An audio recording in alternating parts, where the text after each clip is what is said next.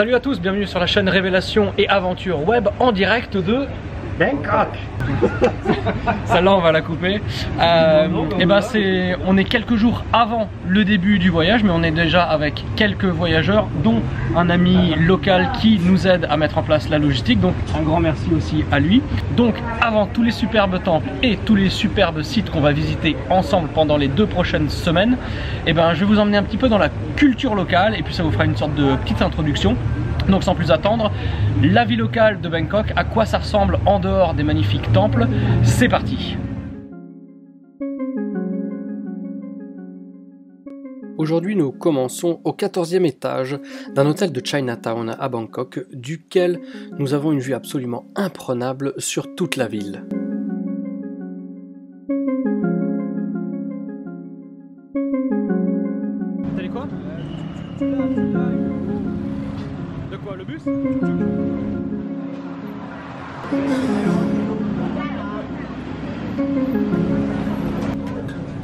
Ça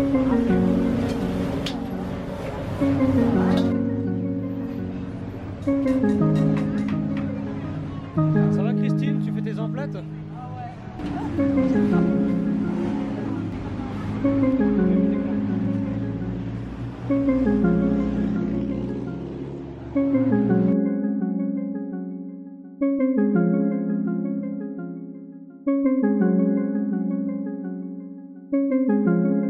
Bangkok, c'est une agglomération de 20 millions d'habitants, réputée pour bien des choses.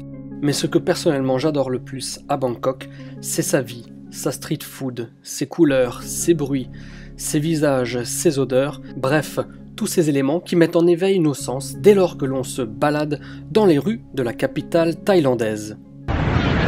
L'énergie de cette ville est absolument folle. J'adore, j'adore.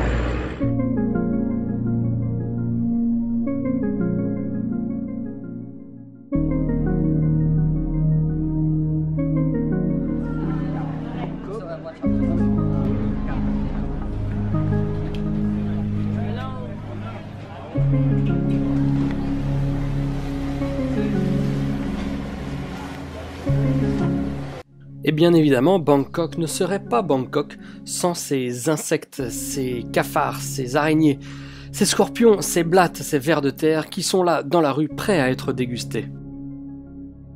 Fort heureusement, pour les moins téméraires d'entre vous et d'entre nous, il y a toujours le reste de la street food à Bangkok avec les poissons, le poulet, la viande, les fruits et légumes, absolument tout ce que vous pouvez imaginer est là, sous vos yeux, prêt à faire frémir vos papilles.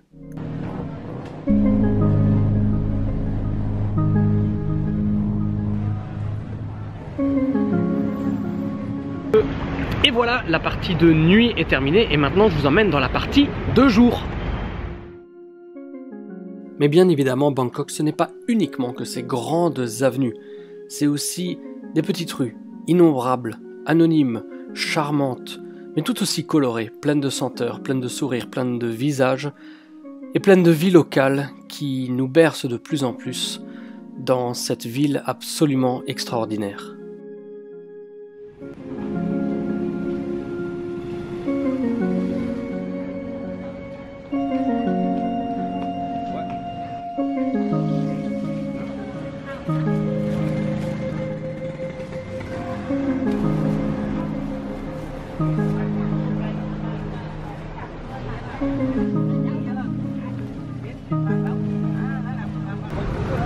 Exactement. Et voici venu le moment de quitter le brouhaha du centre-ville pour se diriger peu à peu vers les rues non moins chargées et non moins colorées du marché aux fleurs de Bangkok qui s'appelle le Pak Klang Talat au lieu de l'excitation olfactive.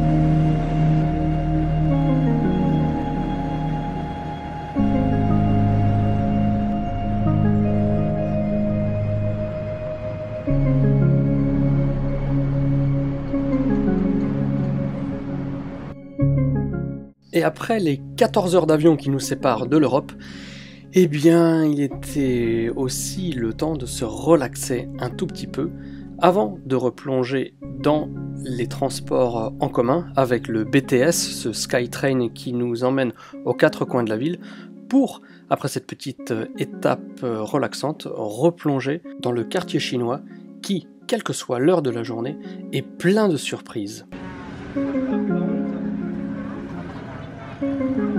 Sans plus attendre, on va se diriger vers le temple de Vat Trimit dans lequel il y a le plus grand Bouddha en or au monde. Il fait plus de 5 tonnes et si on rapporte ça au poids au prix pardon de l'or au gramme, et eh ben on a un poids qui un prix, euh, j'y arrive pas aujourd'hui, un prix qui avoisine, attention, les 200 millions d'euros. Et alors là ce qu'on va aller voir, le Vat Trimit, c'est celui-là. Ce qui est toujours super dans ces temples, c'est qu'ils sont, comme je le disais avant, même ceux-là qui, comme le Vat Trimit, qui est derrière moi, c'est pas celui que vous avez à l'image, qui est un peu plus connu, ils sont toujours au cœur de, la vie locale. Et ça donne vraiment un côté, euh, bah, ça change par rapport à de très nombreux sites euh, historiques à travers la planète, qui sont toujours des sites euh, entre guillemets protégés, préservés, enfin peu importe le terme, alors qu'ici on, bah, on est dans la vie on est dans la vie et c'est vraiment le pied. Et ce qui est aussi super ici, c'est qu'on n'a pas besoin de protéger et d'imposer la protection des sites pour que les gens les respectent. Et c'est pour ça qu'on peut se permettre en Thaïlande d'avoir des temples qui sont en plein milieu de, la vie locale. Et maintenant, ce que vous avez à l'image, c'est le Wat Trimit.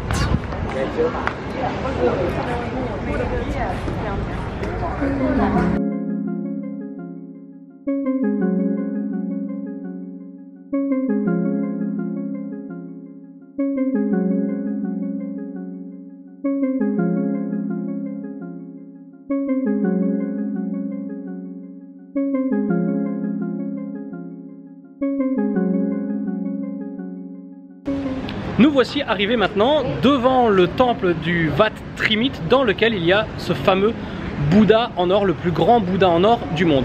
Qu'est-ce qu'on dit par rapport à son histoire? Alors euh, je vais me contenter pour le moment parce qu'il y a pas mal de bruit, j'ai pas envie de faire euh, de déblatérer pendant des heures et de devoir couper. En 1955, on a tenté de le déplacer. Et à l'époque, il n'était pas en or, il était recouvert de euh, stick, c'est ça? Stick, stuc Stuc Stuc, comme les gâteaux. Et euh, merci. Il était recouvert de stuc et en fait c'est en le soulevant qu'il est tombé. Et en tombant, le stuc s'est fissuré et c'est là qu'ils ont vu qu'il y avait le métal et après donc ils ont gratté et ils ont découvert ce Bouddha en or. Ce qui soulève une question. Quand est-ce que la connaissance de l'existence de ce Bouddha en or a été perdue? On dit que c'était à peu près 200 ans avant, avant le 20e siècle, donc 18e euh, siècle pour les matheux. Je couperai au montage. Ah bah oui.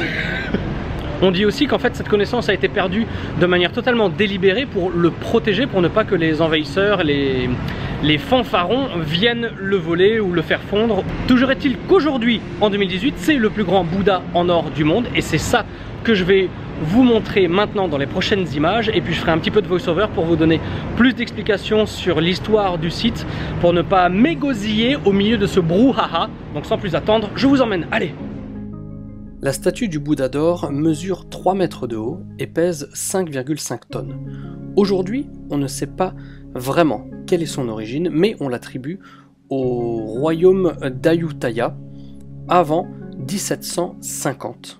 Ce qui est sûr, c'est que la statue est du style de Sukhothai. Sukhothai, c'était la capitale de la Thaïlande de 1238 à 1370, avant que Ayutthaya ne devienne la capitale de la Thaïlande. Ici, le Bouddha est représenté dans sa posture traditionnelle du Bhumisparshamudra, avec la main droite vers le sol. Les statues classiques du style Sukhothai, Sukhothai donc je le répète, c'était la capitale de la Thaïlande avant qu'Ayutthaya ne devienne à son tour la capitale, et après Ayutthaya, c'est uniquement là, après l'invasion des Birmans à la fin du XVIIIe siècle, que Bangkok est devenue la capitale de la Thaïlande. Donc les statues classiques de style Sukhothai sont assises sur un socle ordinaire. Ce qu'on voit aussi, c'est la flamme qui surmonte la protubérance du crâne, que l'on appelle aussi le Ushnisha, qui est une innovation de Sukhothai et qui symbolise le rayonnement de l'énergie spirituelle du Bouddha.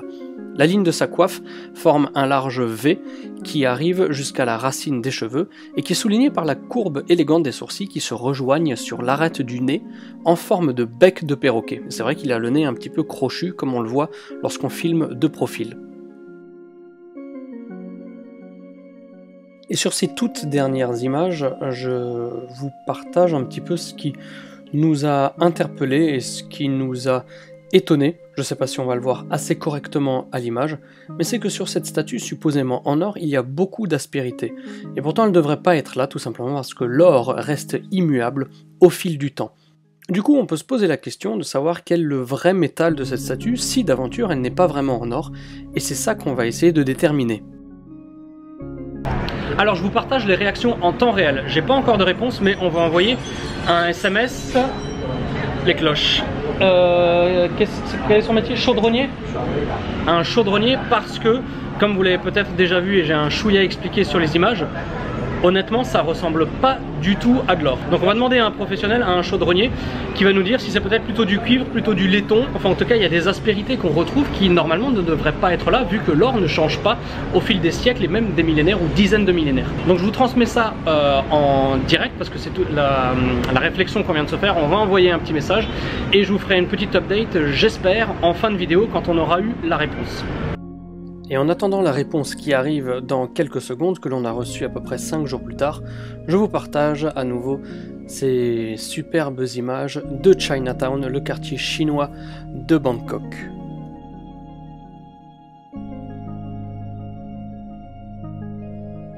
Avec comme dernier plan la vue du rooftop de notre hôtel qui aura su ravir tous les voyageurs durant les 5 nuits que nous avons passées dans la capitale thaïlandaise. Ah oui tiens, on vient d'avoir l'info donc euh, bah on a filmé ça il y a quelques jours, c'est la première vidéo que je mets en ligne mais on a dû attendre quelques jours pour avoir la confirmation. Le Bouddha dont le Bouddha que je vous ai montré, vous savez celui qui est supposément le plus grand Bouddha d'or au monde qui doit peser 5,5 tonnes d'or. Et ce Bouddha sur lequel on avait quelques doutes par rapport à sa réelle composition, nous on suspectait plutôt euh, du laiton ou autre. Donc on a demandé au chaudronnier et euh, Tony tu me confirmes le Bouddha c'est donc du laiton poli? Du laiton poli, effectivement. Voilà, donc le chaudronnier qui travaille avec du laiton poli au quotidien a confirmé que c'est bien du laiton poli et c'est absolument pas de l'or. Donc, euh, donc voilà, c'est très étonnant que pourtant on s'obstine à dire que c'est un, un... Il voit pas que je filme. C'est pour ça que c'est bizarre qu'on s'obstine à dire que c'est un Bouddha d'or parce que voilà, c'est du laiton. Mais bien sûr, ça n'empêche pas que c'est absolument, absolument magnifique. Donc voilà, petite update pour conclure, euh, pour conclure pardon, la vidéo. Et puis bah en tout cas j'espère qu'elle vous a plu. Et oui comme on dit ici, c'était court mais c'était très très bon. J'espère que vous avez aimé cette petite introduction à la Thaïlande, à Bangkok. Si c'est le cas, n'hésitez pas à partager sur les réseaux sociaux, à laisser quelques petits commentaires, n'hésitez pas à mettre des petits pouces.